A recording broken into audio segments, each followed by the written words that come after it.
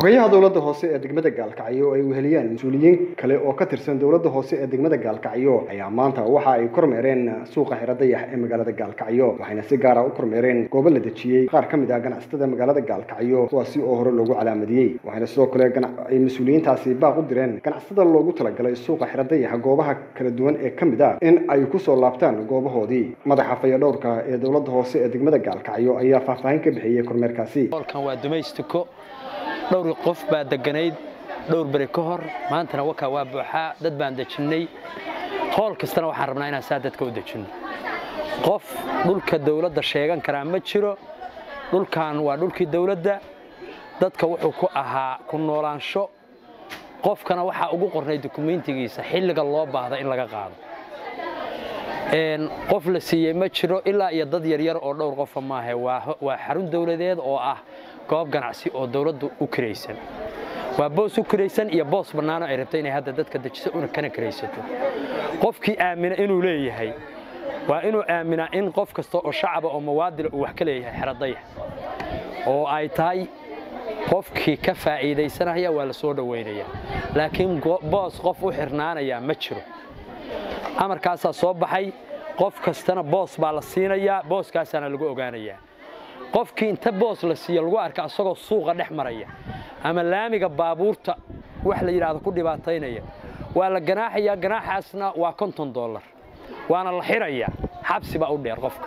Intaa waxaad ogaataan qof kasteetoo shacab oo boos la siiyeyow booskaaga inaad fadhidid. Qofkii ka soo baxa oo booskiisa aan ka faa'iidaysan lama imaan karo. Waa qof ka kaaftooma inuu ganacsado.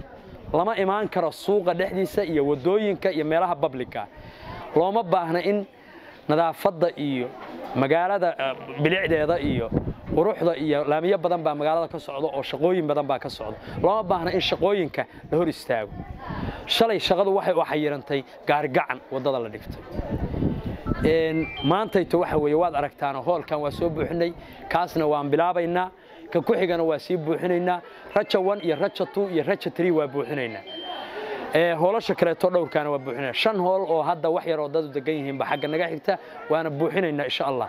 Waxaan rabnaa qof kasta oo mawaadila oo shaqaysanaya boos isagu u leeyahay inaan dejinno. Xogayaha dowladda hoose ee degmada gaalkacyo cabdiqani geesi weyne ayaa isaguna waxa uu baaq u diray ganacsatada suuqa xiradaya iyo guud ahaan ganacsatada magaalada gaalkacyo waxaan rabnaa dadka suuqa laamiga ku ganacsanaya geesihiisa in la soo xareeyo oo qolo walba meesha ay leedahay ay ka degto. Qolada qudaarta inay hoolkii qudaarta degto kuwii dharka inay holalkoodii degaan kawaanlayda bannaanka jooga ay ku noqdaan kawaankoodii ay degaan. Intaa kadib qof walba boosishka uu lahaa boosishin baa la dejinayaa. Waxaan rabnaa dadkaas inay meeshooda ku xasilaan waxaan rabnaa inaan u sheegno ciddii ku noqota laamiga ama bannaanka dib ugu noqota inay la kulmayso ganaax la kulmayso.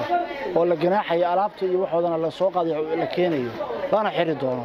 Insha allah marka waxaan rabnaa shacabkeena annagoo u dhimrinayna inay amaamiirta dowladda u hoggaamsamaan degaanna meesha loogu talagalay waxaa kaloo jira in suuqii laga samaynayo laamiye iyo wax laga samaynayo iyadana waddankii la qurxinayo barnaamijkaas kale uu socdo. Hoolashaan hadda aan joogno hoolal waxaa jira bannaan oo dadkii lahaa aysan imaan. Marka hadda dadka maqan hoolalka u bannaanaan mayaan. Hoolkii booskii faaruqa waxaa la dejinaya qof ganacsado ah oo laamiga taagan. Kaasaana xaq u yeelanaya. Qofkii laakiin joogo booskiisa haddii booskiisuu joogaa wuuna ku shaqaysanayaa. Marka waxaan rabnaa in nidaamka dowladnimo loo hoggaansamo waxaan raadinaynaana waa kala dambayntii administrationka inay soo cesho dadka suuqa raba inay hamigooda ku jira inay laamiga dib ugu sii ganacsadaanna. Waxaan u sheegaynaa in laysaga daba tegi doono ganaaxna ay mutaysan doonaan. Burhaan maxamed cabdi warbaahinta dowladda puntland gaalka